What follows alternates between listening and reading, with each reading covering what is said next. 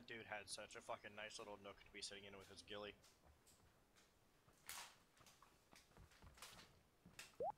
I'm uh, currently having a moment, I think. You're having a moment?